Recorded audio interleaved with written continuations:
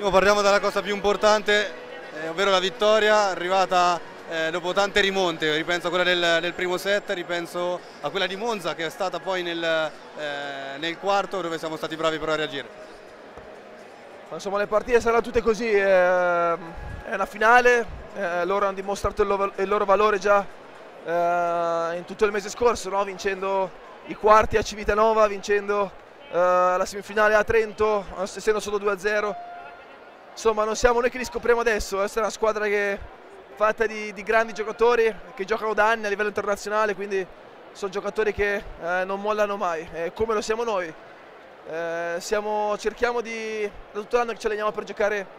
eh, il punto a punto e questa serie qua sarà così perché tutti, tutte, le, tutte, le, partite saranno così, non ci, sarà, non ci saranno set facili, mi dispiace un po' per il quarto set perché secondo me lì